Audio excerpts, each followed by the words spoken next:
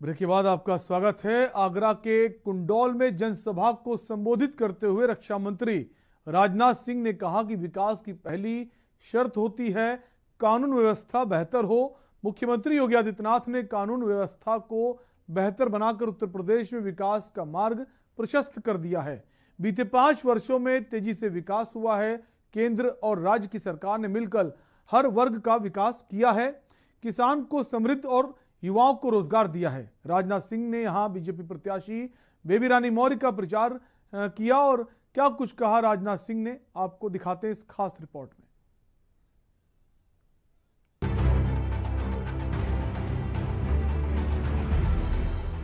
आगरा में बेबी रानी मौर्य के समर्थन में पहुँचे राजनाथ सिंह ने कहा कि सपा के शासनकाल को सबने देखा है। सपा के शासन में किस तरह गुंडे माफिया के हौसले बुलंद रहते थे अब हालात पूरी तरह बदल गए हैं। उन्होंने कहा कि जब होगा कानून का शासन, तभी विकास करेगा योगासन। आज प्रदेश में विकास योगासन कर रहा है, चौरासी योगासन होते हैं। प्रदेश में विकास तिरासी योगासन कर रहा है। एक योगासन सपा और विपक्ष के लिए छोड़ दिया गया है, वो है शीर्षासन। उन्होंने कहा कि प्रदेश में चौड़ी चौड़ी सड़कों का निर्माण कराया गया। सभा में आए लोगों से पूछा कि आपको पहले की अपेक्षा सड़कों के हालात बेहतर दिखाई दे रहे हैं या नहीं? भाजपा के शासनकाल में तेज़ी से विकास कार्य हुआ है।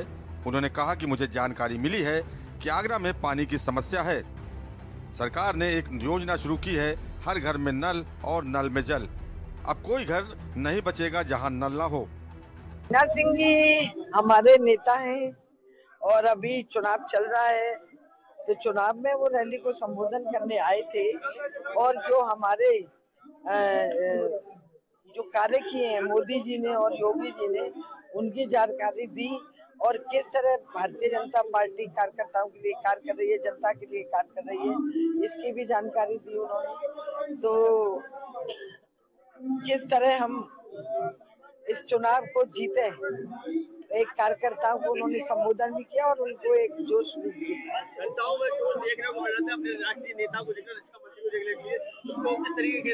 धन्यवाद जनता मैं जनता का, अपनी कार्यकर्ताओं का बहुत बहुत धन्यवाद करना चाहती हूँ कि बड़े वो दो तीन घंटे पहले से ही आए थे और बड़े धैर्य से बैठे रहे। उनका बहुत बहुत धन्यवाद, उनका आभार व्यक्त करती हूँ कि वो यही धैर्य और यही परिश्रम जो दस तारीख को करें और अपना एक एक डलवा दें। रक्षा मंत्री ने कहा कि आपने 2014 में भाजपा के नेतृत्व में केंद्र सरकार बनाई है। नरेंद्र मोदी प्रधानमंत्री बने। 2014 से पहले दुनिया में धारणा थी कि भारत कमज़ोर है, आज ये धारणा बदल चुकी है। पहले अंतर्राष्ट्रीय मंचों पर भारत जो बोलता था, दुनिया उसे गंभीरता से नहीं लेती थी। आज भारत जो बोलता है, पूरी दुनिया गंभीरता से सुनती है। हमने जो कहा, वो किया और आगे भी करेंगे। केंद्र और प्रदेश सरकार के विकास कार्यों को गिनाते हुए राजनाथ ने कहा कि क्या आपने कभी कल्पना की थी कि कोई प्रधानमंत्री शौचालय की बात करेगा? हमने ये किया। आज घर घर शौचालय बने हैं। पहले गरीब बीमारी से दम तोड़ देता था। आज आयुष्मान भारत योजना के तहत गरीब को पाँच लाख रुपए तक इलाज मिल रहा है। एक से एक योजना। अब हम लोगों ने एक सिलसिला और प्रारंभ किया। हर घर में नल और नल से जल। मुझे जानकारी प्राप्त हुई है। आगरा के लिए भी स्वीकृत हो गया है। यहाँ भी काम प्रारंभ होगा। यहाँ भी काम प्रारंभ होगा। कोई घर ऐसा नहीं बचेगा। कोई घर ऐसा नहीं बचेगा जहाँ पर कि नल की सुविधा न हो जाए और नल से जल न प्राप्त हो। अब घर की माताओं बहनों को पानी लाने के लिए कुओं पर नहीं जाना पड़ेगा, तालाब में नहीं जाना पड़ेगा, नदियों में नहीं जाना पड़ेगा। उनके घर तक नल के माध्यम से जल पहुंचेगा। ऐसी कई योजनाएँ हमारी सरकार ने लागू की है। उत्तर प्रदेश का यहाँ तक सवाल है। बहनों भाइयों, पहले सारे प्रदेश में पाँच, छह, सात मेडिकल कॉलेज आठ मेडिकल कॉलेज पाँच वर्षों के अंदर हम लोगों ने ऐसे हालात पैदा कर दिए। 59 उनसठ मेडिकल कॉलेज या तो बन गए हैं, या तो भवनों का निर्माण हो रहा है।